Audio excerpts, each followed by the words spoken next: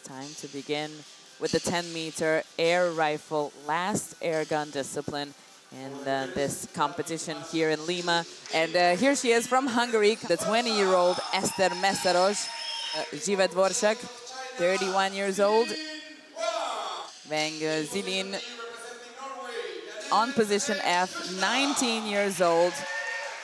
And here it is from Norway, 24-year-old Jeanette Hegg Duestad Hansjao, 21-year-old. And another 21-year-old from USA, Mary Carolyn Tucker, Palagrande from Spain.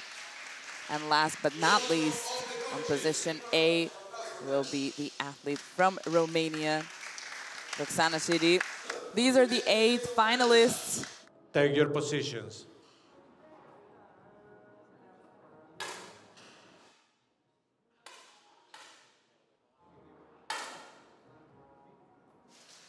Looks like we have a shoot-off.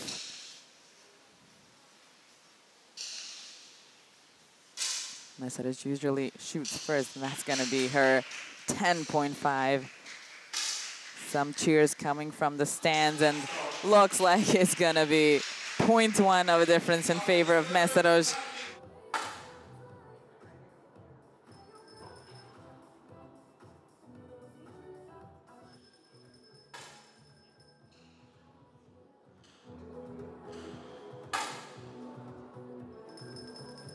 Jeanette Hegg Duestad, bronze medalist of the ISSF World Cup for rifle and pistol. Wang and Meszaros coming in and uh, competing for the gold in the gold medal match. Everybody says it's not easy shooting against the Chinese athletes. She shoots a 10.6. Maybe that difference will make a difference, and it will.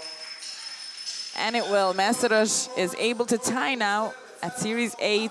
They're both halfway there. Wang took over the lead, coming to 15. She is at match point. It's a 10.4, not the highest score to defend the position, and it's going to be 0.1 of a difference in favor of Zilin Wang.